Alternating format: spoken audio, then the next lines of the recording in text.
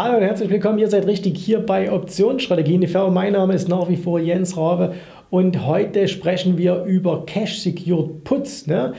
Und zwar stellen wir uns mal die Frage, kann man eigentlich Cash Secured Puts auch dann schreiben, wenn die Gesellschaft gerade ihre Earnings veröffentlicht? Kann man das machen? Worauf sollte man achten? Meine Antwort jetzt hier im Video.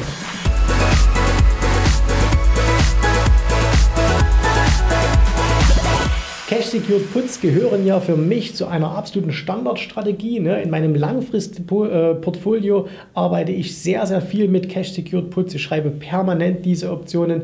Zum einen, um Cash zu generieren und zum anderen natürlich auch, um die Optionen äh, dazu zu nutzen, mir eventuell die Aktien andienen zu lassen. Für alle, die sich noch nicht ganz so sehr damit auskennen, was ist ein Cash-Secured Put? Ein Cash-Secured Put, nehmen wir es mal auseinander. Ein, erstmal ist ein geschriebener Put, also ein Short Put, meistens am oder unterhalb des aktuellen Preises geschrieben. Und Cash Secured bedeutet, dass du das Geld, was notwendig wäre, um die Aktien zu kaufen, dass du das hast. Ne? Und äh, dass du eben auch bereit wärst, so ist zumindest meine Definition, die entsprechende Aktie zu übernehmen. Also wir machen ein Beispiel. Du ähm, hast die Aktie XYZ, die kostet, äh, was weiß ich, 50 Dollar und du sagst, ich, ich schreibe bei 45 Dollar einen Put, dafür bekommst du eine bestimmte Prämie und würde jetzt die Aktie während der Laufzeit oder besser gesagt am Ende der Laufzeit auf diese 45 oder darunter fallen, dann würdest du sie für 45 dir auch andienen lassen. Das heißt, du würdest dann einfach 100 Stück auf 45 Dollar kaufen und hättest die Aktien dann in deinem Depot. Und deswegen werden im Cash Secured Puts sehr häufig in Langfristdepots angewandt, wo man eben sagt, okay, dann nehme ich die Aktie halt ganz einfach, weil mir eben dem Beispiel die XYZ-Aktie gut gefällt. So, jetzt gibt es ja viermal im Jahr Earnings ne? und äh, viele stellen sich dann immer die Frage, hm, soll ich während Earnings auch Puts schreiben? Jetzt muss man hier ganz klar unterscheiden. Zum einen gibt es ja bei uns die Strategie der ganz normalen Short Puts, dass wir also Puts schreiben auf Aktien, wo wir erwarten, die Aktie geht nach oben weg, bleibt oder bleibt stabil und uns kommt es nur auf die Prämie an. Wir wollen nur diese Prämie einnehmen, wir wollen auf keinesfalls die Aktie haben. So, in so einer Situation sollte man Earnings definitiv vermeiden, weil wir wissen, alle Earnings, die können positiv, aber auch negativ überraschen.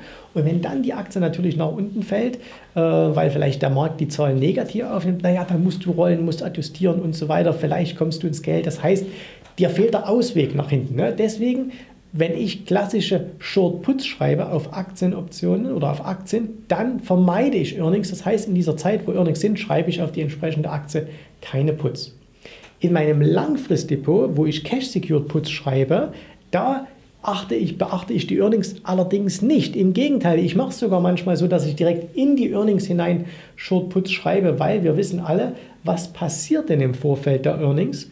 Im Vorfeld von Earnings steigt die Volatilität an. Das heißt, du kriegst relativ hohe Prämien.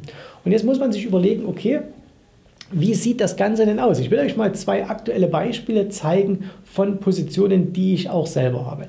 Die erste, eine Aktie, auf die ich fast permanent Cash Secured Put schreibe, das ist Apple.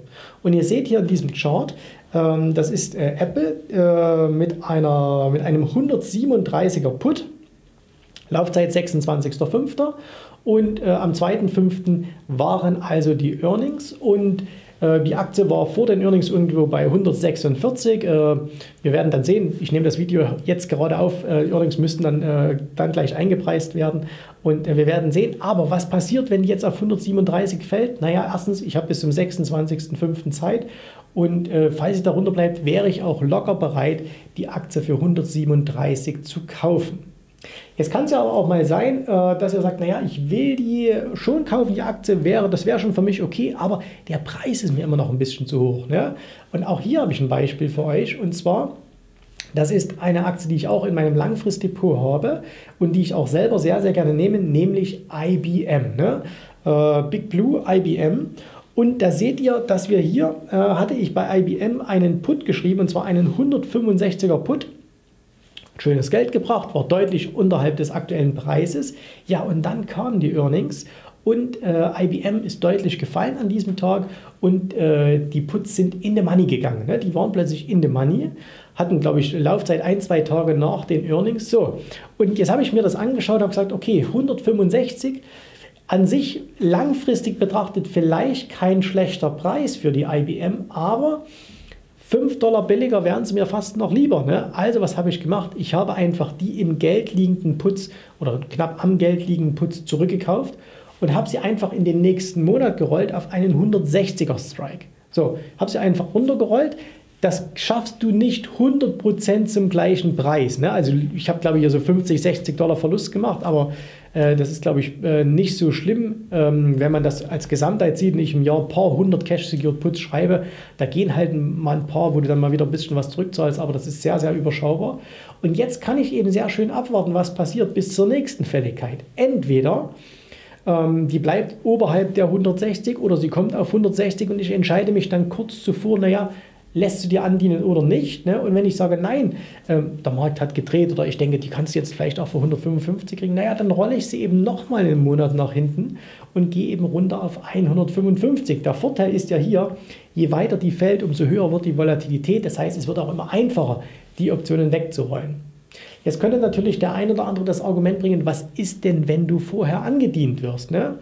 Naja, und dann sage ich ihm, okay, dann habe ich sie halt. Ne? Also dann, deswegen heißt es ja Cash Secured Put, dann habe ich die Aktie eben und äh, dann wandert sie eben zu mir ins Depot.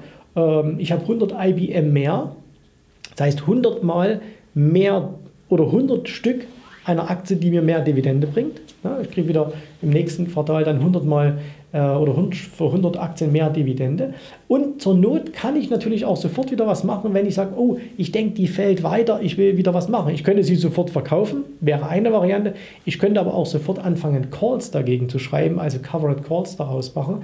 Das heißt, ich habe hier viele Möglichkeiten, etwas zu tun.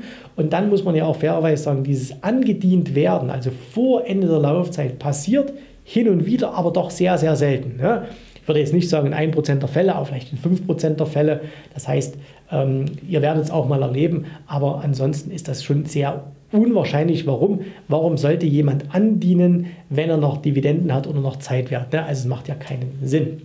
Okay, also deswegen auf die Anfangsfrage, Cash Secured Puts auch in den Earnings. Ich persönlich mache es. Ähm, ich finde es nicht schlimm, weil damit kann ich gut umgehen. Das erhöht auch die Häufigkeit der Trades, die ich darin machen kann, damit auch meine Prämieneinnahmen und damit auch meinen Cashflow.